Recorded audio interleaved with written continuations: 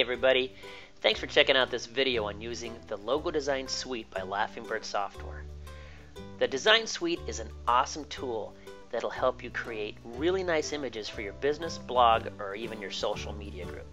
So let's get started by firing it up. Double click it. And the first thing we're going to see is a splash screen. Welcome to the Logo Design Suite splash screen.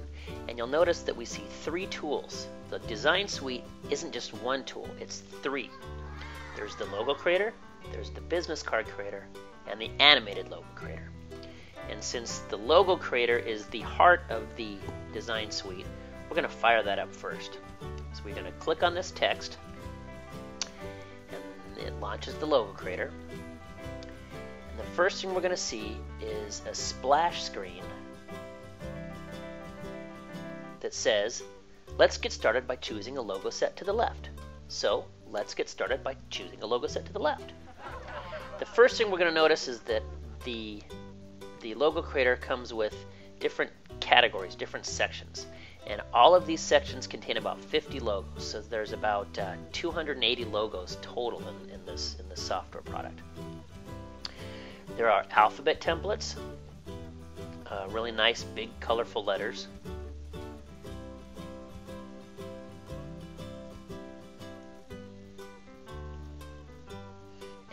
There are other sections. There's animated logos that we'll that we'll talk about. There are business card type logos, and I'll show you what those are for. And there are cartoon mascot templates. These are my favorite because these contain really really nice characters that, that could really help brand your business. There's about 50 of these, and actually there's about 100 cartoon characters in this section too, in, in, in the elements area. And there's uh, corporate templates. Oops, there we go. Corporate templates. They look more uh, more business-like, I guess. So for now, let's let's just choose any set. Let's just do the business card creator logos for now. Uh, and again, you'll notice that we have many logos to choose from. So let's find one we like. Let's try.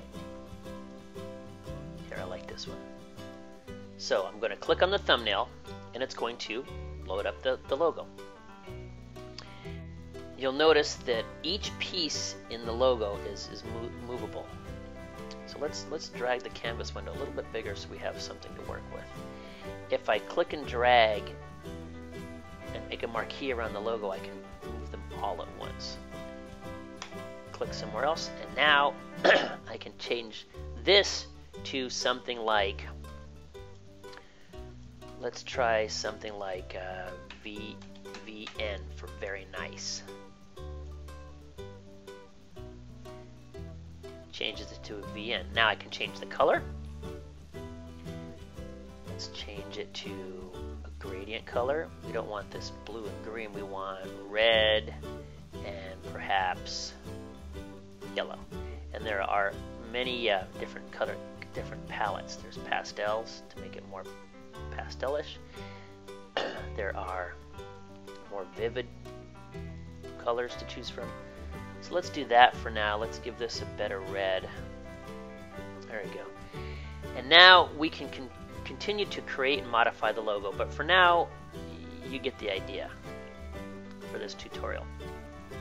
Okay, let's just say we don't want this particular orb, we want something that looks a little bit nicer. So let's hit images and now you'll notice that there's lots of different um, images that we can use in our logo. There's alphabet letters, there are banners and stars.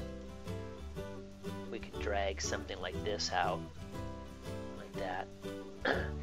I'm going to move this to the to the back, and we're going to delete on the on my keyboard. I'm going to hit the delete key and I'm going to hit the delete key again, or I can go into the under the modify menu and choose delete logo element. So here's a nice pattern. Here's our VN. This isn't really fitting here for now, um, but we'll keep it down here because it's it's kind of cool for a slogan. Okay? But we don't want to say new logo because this is now VN. So we're going to change the new logo to